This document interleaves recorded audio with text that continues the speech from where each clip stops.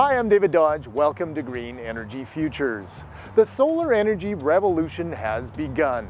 With grid parity in sight and the price of solar plummeting from a high of $77 a watt in 1977 to just 70 cents a watt today, the costs are now so low it's positioned to become the most important new source of electricity by 2030. I was standing in the middle of 624 solar modules when I was told that the system would produce electricity at about 11 cents a kilowatt hour. Hi, my name is Clifton Loftog with Great Canadian Solar. We're on the roof of a building that's going to be home to Environment Canada. Uh, they will be going for LEED Gold certification. As part of that, uh, their portion of their electricity usage will be uh, created from a solar photovoltaic system that we're installing here. It's 153 kilowatts. It will produce around 180 megawatt hours a year or enough to offset approximately 25 to 30 homes a year here in Alberta. With the recent drop in, uh, in equipment costs, we can do systems now that the electricity will be produced at about 11 cents a kilowatt hour over the next 25 years. The cost of solar has come down 100 fold. Gordon Howell is an engineer and a solar energy expert who confirms that solar is taking off.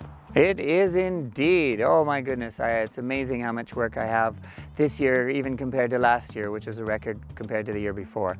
Gordon Howell confirms that even with a modest sized solar system, it's possible to generate electricity at a competitive price.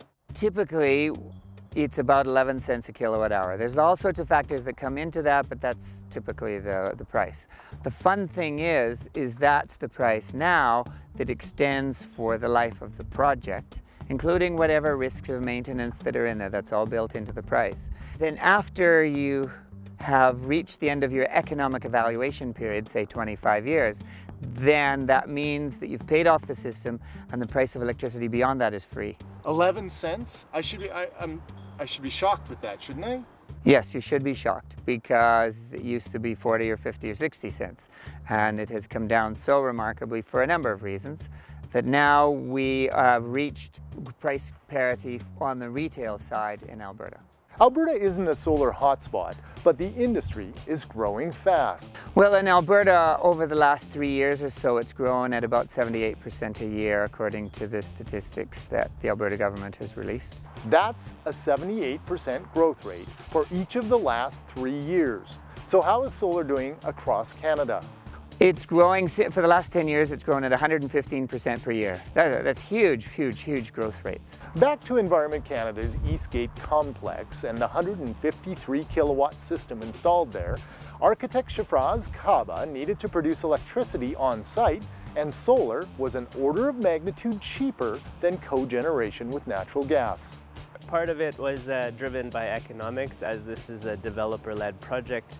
Uh, we looked at the life cycle costs of PV, the operating costs of the buildings, the capital costs of the, the actual array and modules and installation, and that really uh, drove uh, the choice uh, because there is other options out there like cogeneration. With the price of solar dropping so far and so fast, we asked Gordon Howell how much it would cost to get a solar system today in Alberta. For 10 kilowatts, for example, a system would cost you in the order of 28 to $30,000. And uh, if you're a large user of electricity, it would generate all your own electricity for your house.